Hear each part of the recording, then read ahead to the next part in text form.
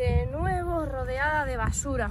Rodeada de basura porque donde hay basura hay cobijo para los animales, ya que la, madera y ciertas eh, cosas de estas conservan humedad.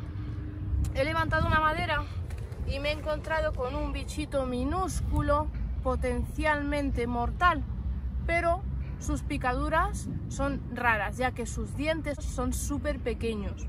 Se trata de una viuda negra, en este caso es una hembra, que ya tiene los dientes un poco más grandes que el macho. Y como veis, está ahora protegiéndose, porque la he encordiado un poquito.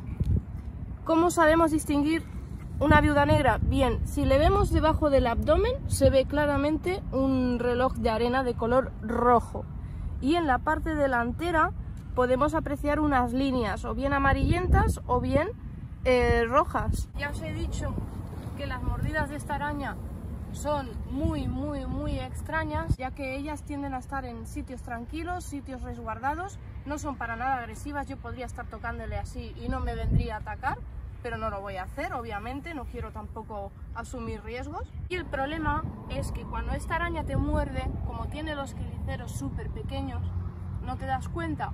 Entonces los síntomas empiezan horas más tarde, 2, 4, 6 horas, depende de si eres un niño, de tu estado de salud, del peso, de la cantidad de veneno, etc.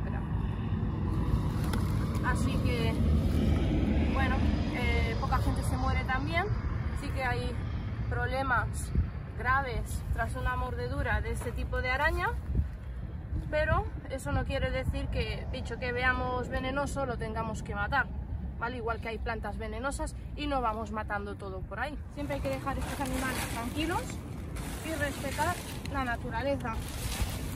Porque igual que vives tú en este mundo, también viven otros. Y ya está, corto y cambio.